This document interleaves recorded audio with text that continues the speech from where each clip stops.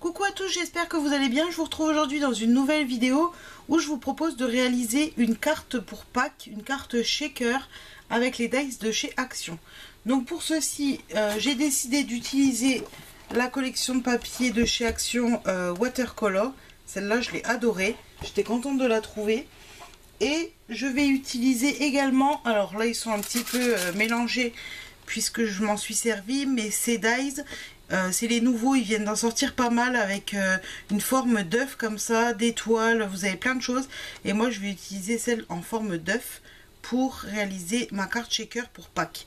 Donc je vais l'utiliser pour faire un œuf, mais vous avez des modèles, euh, notamment derrière, pour vous montrer que vous pouvez réaliser avec les mêmes dies une ampoule, un ballon, enfin plein de choses. Donc je me suis quand même avancé un petit peu sur certaines choses euh, pour ça il y a un petit peu plus vite sur la vidéo. Donc je vais utiliser une base de carte de chez Action comme ceci. Et je suis venue découper un papier décoratif, donc ça de votre choix. Donc pour venir la coller sur la carte. Je vais la coller avec vous. C'est un, tuto, façon de parler, c'est un petit peu un, scrap ensemble plus que qu'un tuto. Je sais pas trop comment appeler ce genre de vidéo parce que, même mis à part, faut vous montrer comment réaliser le shaker. Euh, la partie décoration, c'est un petit peu selon vos goûts à vous.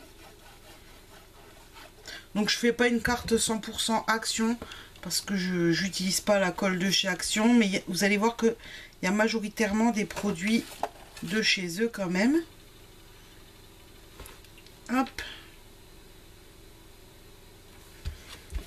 Donc voilà pour ma base de cartes. Quelque chose de très simple. Hein.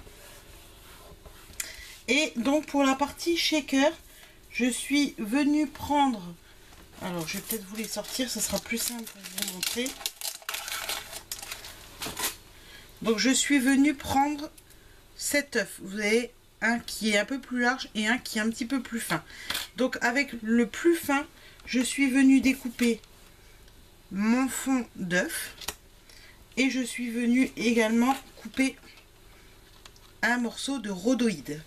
Avec l'autre œuf, je suis venue découper 5 fois, alors là je les ai déjà collés pour, pour euh, que ça soit bien solide, vous allez venir euh, découper 5 fois ou plus, hein, selon l'épaisseur que vous voulez, votre œuf, et vous allez superposer et coller les, les œufs les uns au-dessus des autres.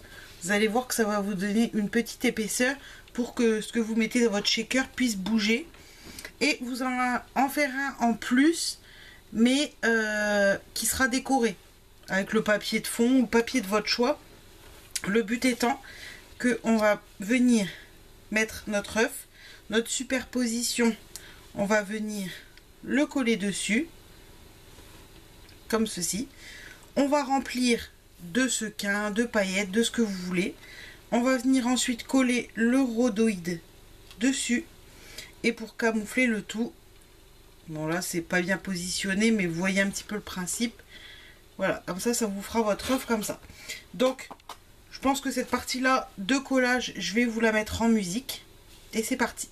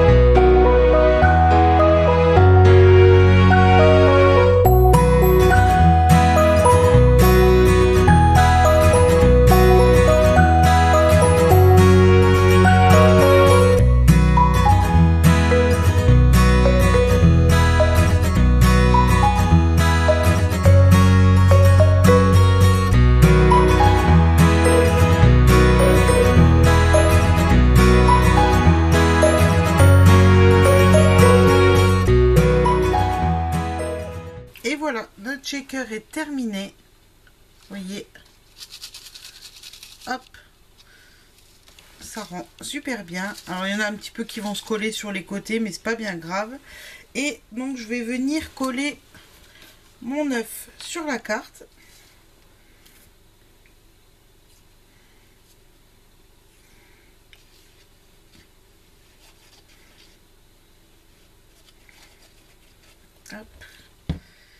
Je vais mettre assez haut puisque je vais venir mettre des petites choses en dessous et sur le côté.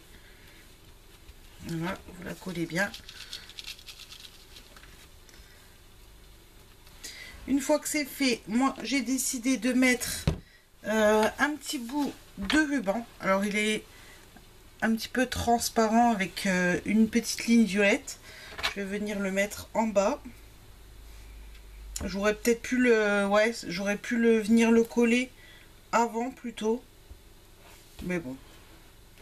C'est pas trop dérangeant.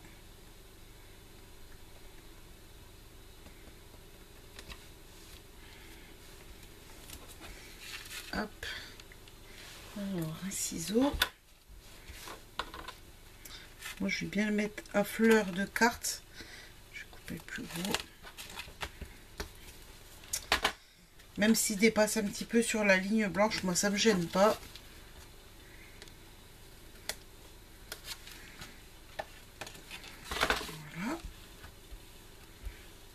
Et tout simplement, je vais venir enlever la pellicule, coller mon ruban.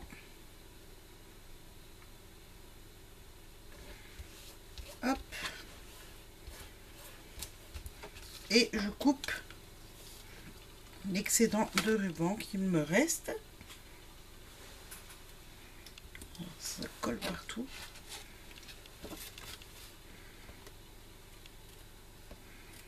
Voilà, je l'ai fait comme ça, mais j'aurais peut-être dû le passer avant euh, sur mon fond de carte avant de le coller, mais bon. Après, encore une fois, ça, euh, la déco, c'est selon les goûts de chacun.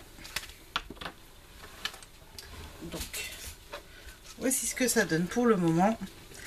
Donc pour le moment, euh, donc la carte, le fond de carte, le ruban, les dies, le papier et tous les sequins, tout ça vient de chez Action. Donc euh, après la colle, moi j'ai pas utilisé de chez Action, mais vous, vous en avez aussi. Du double face c'est pareil, des ciseaux c'est pareil.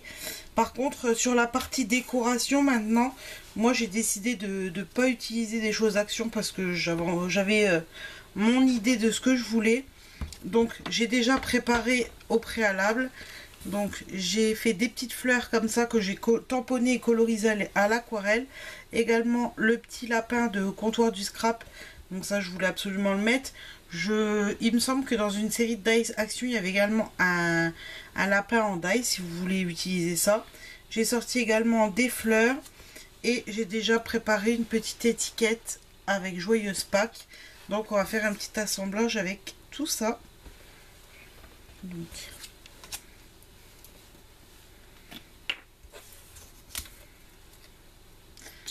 je vais venir coller à cheval sur le sur l'œuf.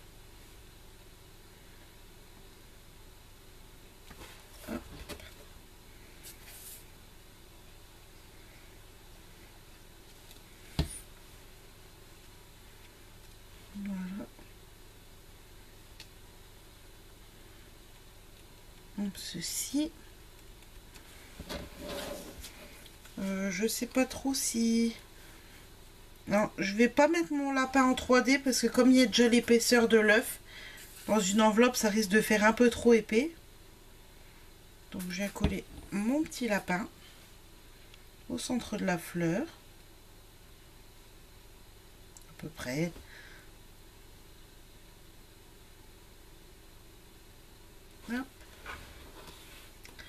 Ensuite, je voulais mettre des petits feuillages. Je vais voir un petit peu comment je les place.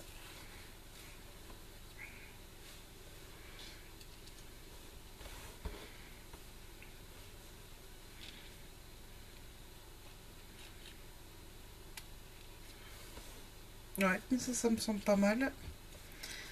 Je vais pas les coller complètement parce que je veux que ça puisse bouger un petit peu.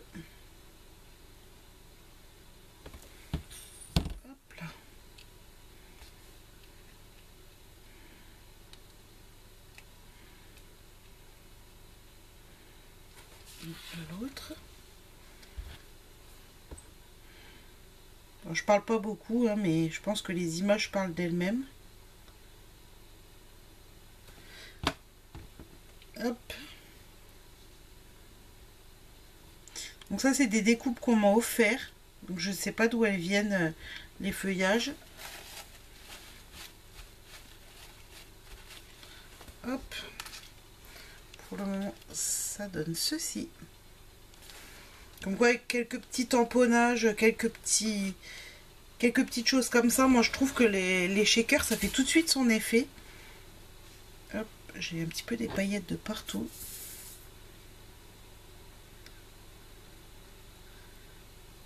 Hop. Donc je viens coller une petite étiquette à jouer. C'est pour donner un petit peu plus de superposition. J'aime bien superposer des étiquettes comme ça. Hop, et celle-ci, par contre, bah, je l'ai déjà... Je me suis avancée. J'ai mis du 3D derrière, de la mousse 3D.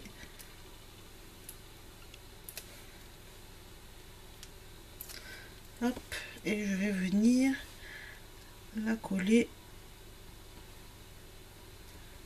à peu près comme ça.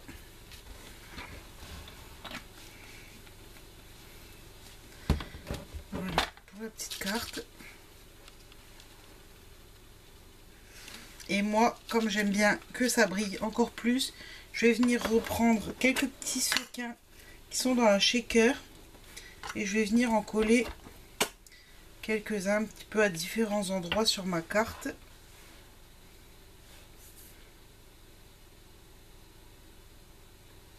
Vous voyez qu'avec pas grand chose, hein, vous pouvez tout de suite... Euh,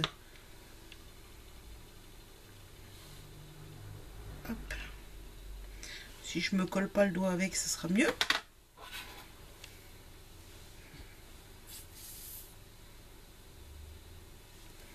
Je vais mettre une part ici.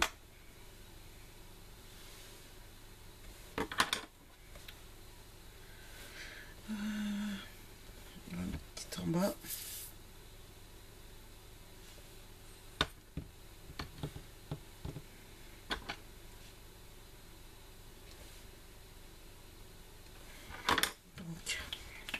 Voilà, pour les petits sequins.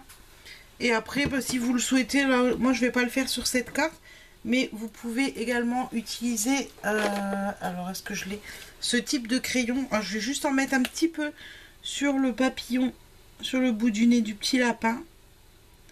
C'est le genre de crayon qui met des paillettes sur vos créations. moi généralement j'aime bien en mettre sur les fleurs ou ce genre de choses. Là je vais juste en mettre une petite touche le petit papillon du lapin. Et ça, c'est un nouveau, le Opal Quartz de chez Nouveau. Donc, une fois terminé, voilà, la petite carte est finie. Vous voyez, avec juste euh, le dice et quelques embellissements autour, bah, vous avez une carte très simple et très rapide à réaliser. Voilà, et eh bien écoutez, j'espère que ce petit tuto vous a plu. Euh, et moi, je vous dis à très bientôt pour une nouvelle vidéo. Si vous faites ce genre de carte, n'hésitez pas à m'identifier et je serai ravie de voir vos réalisations. Et quant à moi, je vous dis à très bientôt pour une nouvelle vidéo. Ciao